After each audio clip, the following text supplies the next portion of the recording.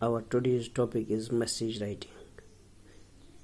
First of all, we would try to learn about what is a message and how it is written.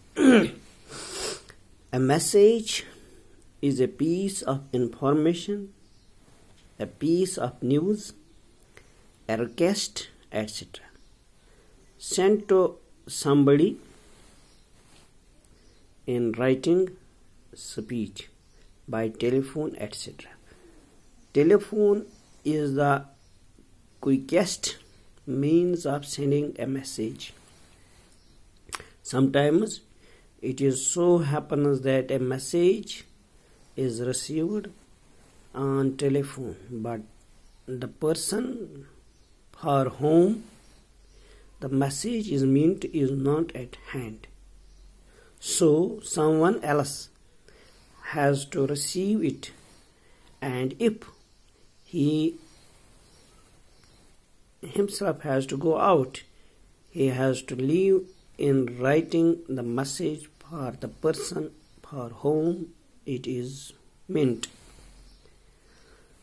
There are some several points we should kept in mind while writing a message that is number one. Address need not be given in a written message. Number two solution should be very brief. Number three date and time of penning uh, penning down the message should be given. Number four clearly mention the names of the person from whom the message was received.